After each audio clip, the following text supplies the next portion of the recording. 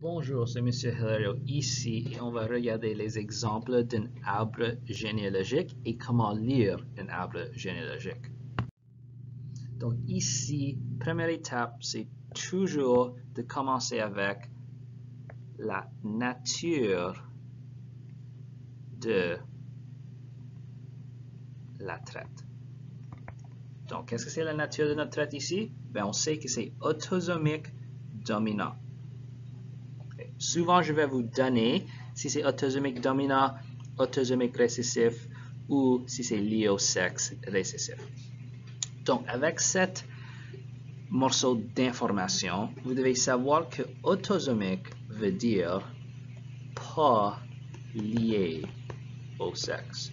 Autrement dit, ça suit les mêmes règles des lois de Mendel.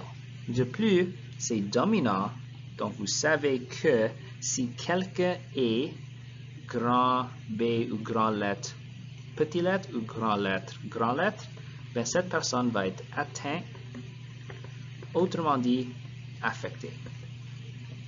Donc, on va regarder cet arbre généalogique. Donc, si c'est autosomique dominante, il faut commencer avec ce qui en est certain.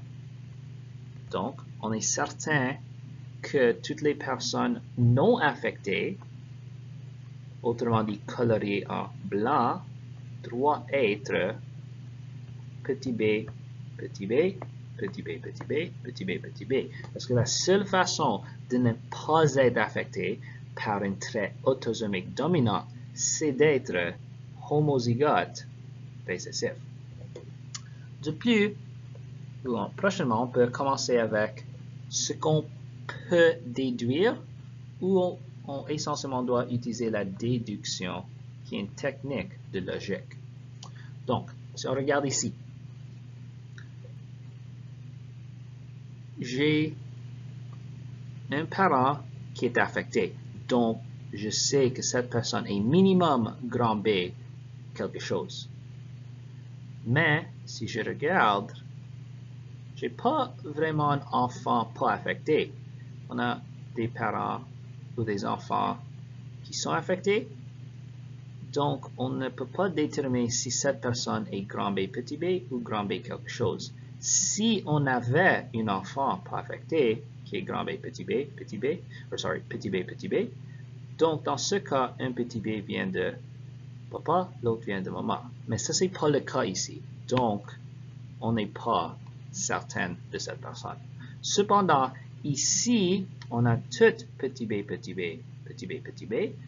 Et donc, on sait que les deux parents doivent avoir minimum une petit b pour avoir des enfants petit b, petit b.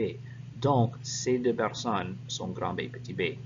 Et c'est la même chose ici parce qu'on a deux enfants qui sont petit b, petit b ou homozygote récessif.